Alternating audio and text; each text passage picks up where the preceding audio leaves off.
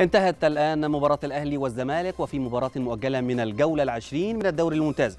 وتشير نتيجة اللقاء بالتعادل بهدفين لمثلهما لكلا الفريقين. للمزيد مشاهدينا الكرام ينضم إلينا مباشرة من القاهرة مراسل التلفزيون المصري أحمد الحسيني. أحمد بعد مساء الخير أطلعنا عن يعني أهم الأجواء لديك. كانت مباراة ماراثونية وخرج الفريقان بالتعادل في هذه المباراة المؤجلة.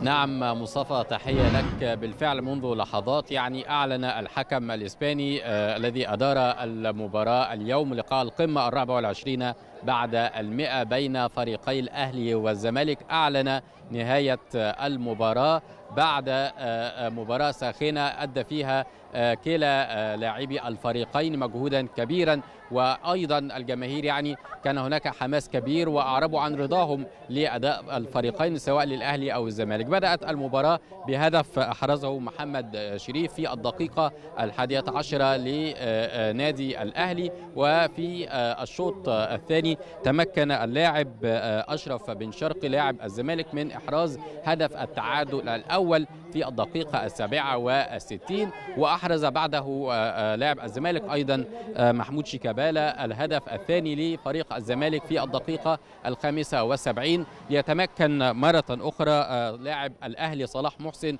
من إحراز هدف التعادل لفريق النادي الأهلي في الدقيقة التاسعة والسبعين وبالتالي انتهت هذه المباراة بالتعادل الإيجابي لكلا الفريقين بهدفين لكل منهما وبالتالي يحصل كل فريق على نقطة واحدة وما زال فريق الزمالك متصدرا جدول ترتيب الدوري المصري برصيد 45 نقطة ونادي أو فريق الأهلي برضو أصبح حصل على نقطة واحدة بعد أو عقب هذه المباراة. لقاء القمة الرابع والعشرين بعد المئة. وبالنسبة للأجواء مصطفى أيضا كانت هناك يعني أجواء حماسية جدا في متابعة هذه المباراة. يعني الجمهور حجز مقاعدهم منذ بدء المباراة منذ حوالي ساعتين أو أكثر لمتابعة هذا اللقاء المثير الذي يشير جم... يثير جماهير الكرة المصرية في الشارع. إليك يعني مصطفى بالطبع أحمد طبعا كل الشكر والتقدير لنقلك لهذه الأجواء. ودائما ما تتميز مباراة القمة ما بين الأهلي والزمالك بالروح الرياضية. على كل الأحوال شكرا جزيلا أحمد. وهذه النتيجة ترضي جميع الأطراف ما بين قطبي الكرة المصرية.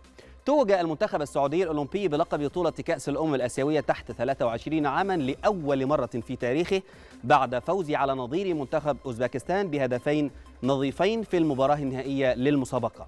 سجل هدفي المنتخب السعودي كل من أحمد مازن الغمدي وفراس البريكان ليحرم منتخب أوزبكستان من لقبه الثاني في هذه البطولة.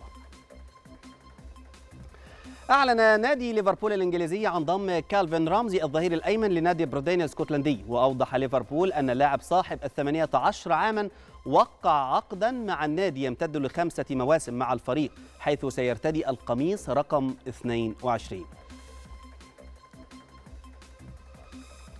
فازت التونسية أنس جابر بلقب بطولة برلين للتنس وجاء تتويج أنس عقب انسحاب منافستها السويسرية بليندا بانسيتش بعد 11 دقيقة من اللعب في المجموعة الثانية بسبب إصابة في القدم.